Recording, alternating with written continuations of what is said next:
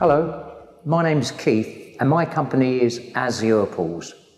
Today, I'd like to talk to you about a pool that we built for a client that had an unusual beginning for us at least, because this wasn't a pool we were asked to build. It's a pool that we almost built by accident. Let me explain what I mean by that. We were first approached by the client on the telephone. He'd had a beautiful pool designed by an architect and he said, Would I care to look over the plans just to see if I could see anything that wasn't quite right? I looked at the plans and immediately realised that it hadn't been designed by a pool engineer, but rather by an architect that used to building domestic houses.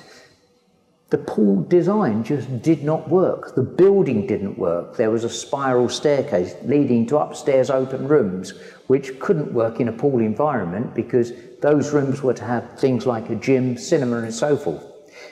I explained this to the client, and uh, he asked what the design should be. So I gave some suggestions as to how the design could be altered, and the architect went away and seemingly redrew the designs. The client then got in touch with me and said, Well, you gave me some advice the first time. Could you have a look at them now and see if they're suitable now? The problems that I'd identify had indeed been overcome. However, more problems now existed because the design had changed, but plant room access was from the outside of the room. There were many things that were wrong with the way it was designed. So I pointed this out.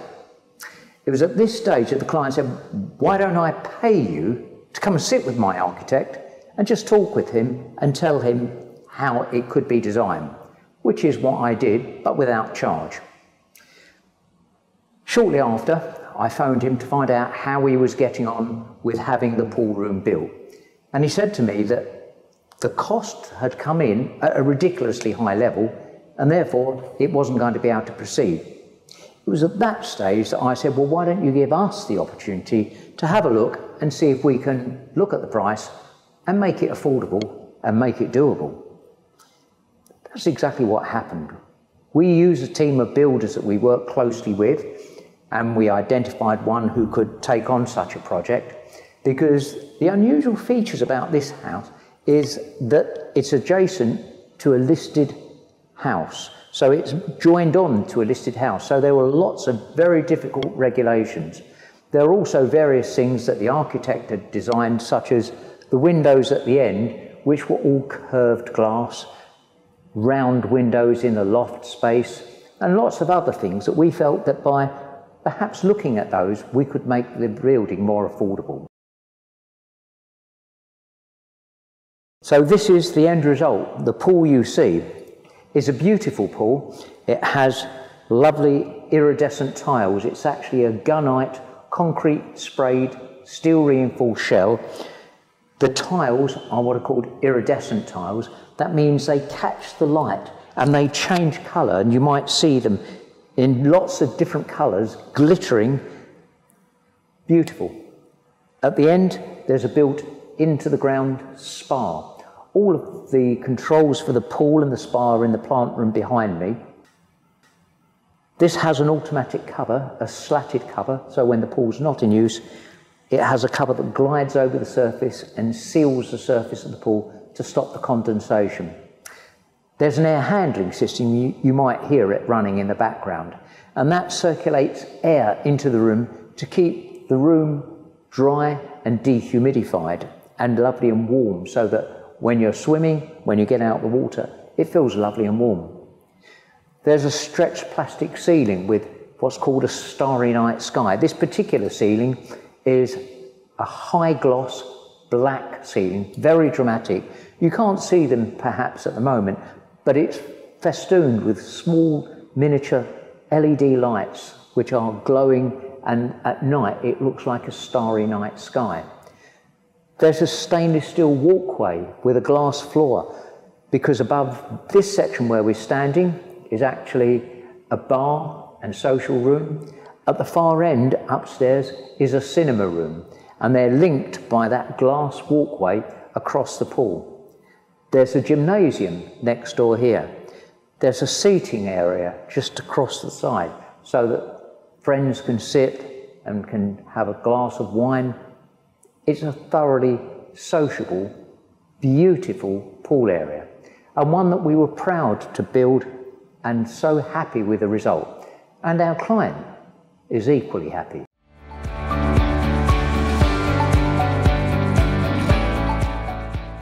Okay, Peter, so here we are sitting in your, I suppose, what would you call this area? Uh, lobby entrance, pool entrance. Yeah. In lobby, yeah, with the pool behind us. Yeah. Just, I wonder if I can ask you a few questions about the pool. Yeah.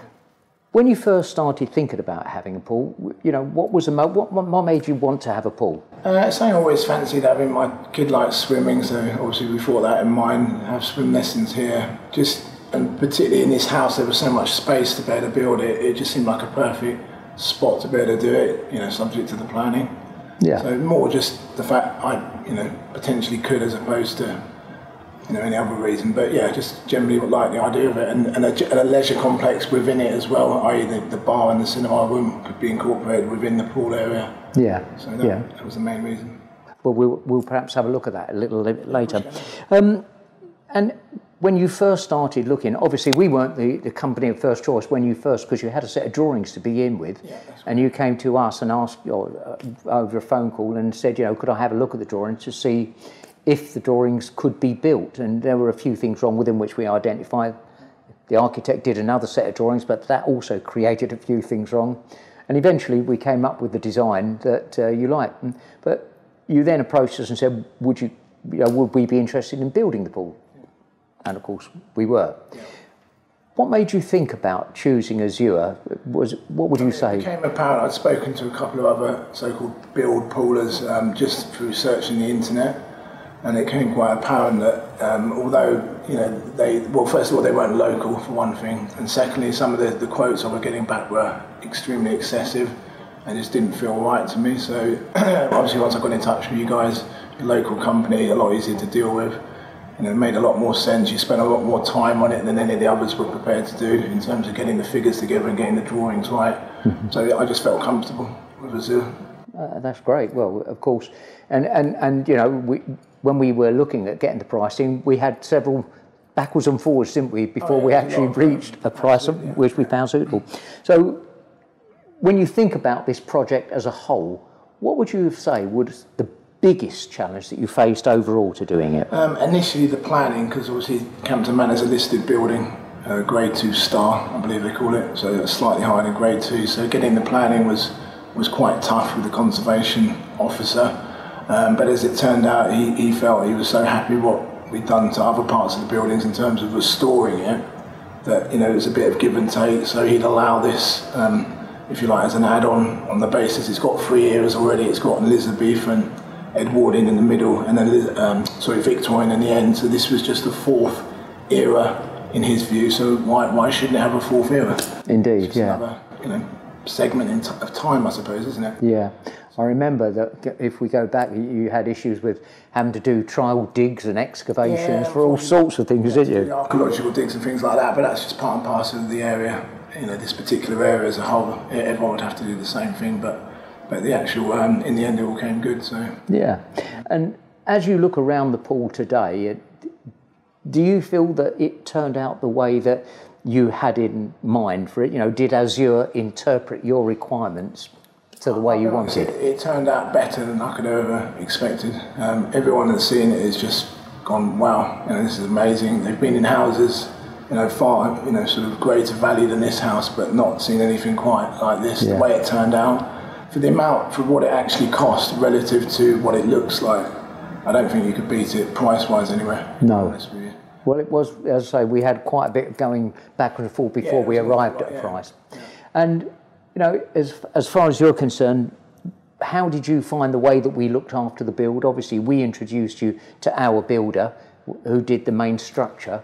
Um, without there's no way I could have had my own builder on it. It would just would not have worked. It would have been impossible. You, obviously, because you knew the builder, you dealt with him before. Yeah. For me to then try and liaise you two to talk to each other, it would have just been impossible. I don't have the time to do it. So that was crucial that you had your own builder on board that was prepared to work with you and that you'd worked with before. Well, as I've said to you right from the beginning, we've worked with that particular builder and several other builders since. We do a lot of indoor pools And the consequence of that is because we have a working relationship, they know what we expect of them. Yeah. We know what to expect of them. So it works together quite harmoniously, uh, and the result is the pool building that we've got. Uh, Is is the pool easy to maintain to look after? Uh, yes, because you do it. well, indirectly you do it. One of your work colleagues that still works, who obviously does it Yeah. every couple of weeks. I do a little bit in between, because it needs a weekly sort of chemical changeover, bits and pieces. But my bit takes maybe five minutes. He spends about 45 minutes because he vacs out and stuff like that. Yeah. Uh, very reasonable cost, only sort of 45 pound every two weeks. So.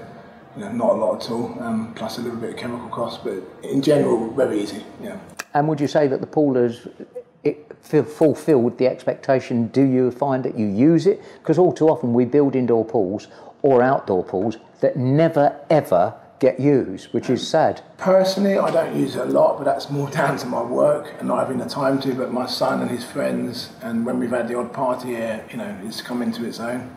Yeah. But uh, I use the spa actually more than the pool, I have to say. That's Yeah. probably the bit I use more. Swimming has never been my particular thing, but my son loves it, and his friends absolutely love it. So And of course, I know you use the gym. yes, and the gym as well. Yeah. the gym is your big thing. So, you know, if you was looking at back with the experience, would you recommend Azure to other people? Absolutely, hundred percent. And No doubt.